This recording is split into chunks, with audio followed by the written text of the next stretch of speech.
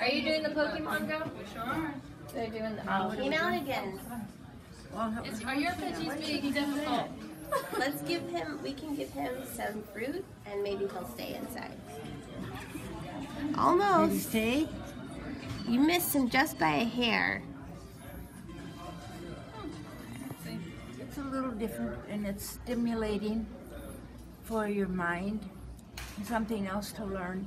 And it's it's very easy to take with you. Mm-hmm. when you just stand with the walker and stand there for a little while, it gets kind of monotonous and tiresome.